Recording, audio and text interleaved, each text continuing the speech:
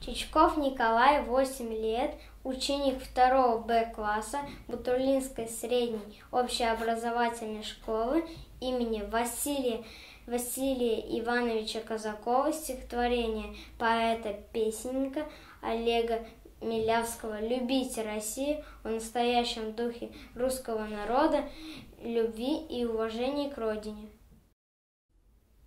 Колышет березоньку ветер весенний, Веселой капели доносится звон, Как будто читает поэму Есенин Про землю, в которую был он влюблен, Про белые рощи и ливни косые, Про желтые нивы и взлет журавлей. Любите Россию, любите Россию, Для русского сердца земли нет милей, нам русские песни с рождения пели, На свете России в пути обнимал.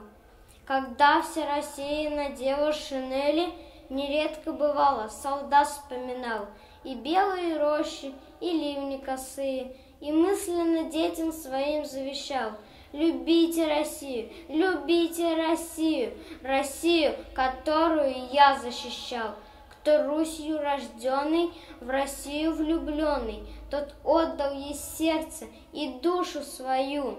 Пред ней величавый склонясь в поклоне, о ней, о России я песню пою, про белые рощи и ливни косые, про желтые нивы и радость весны.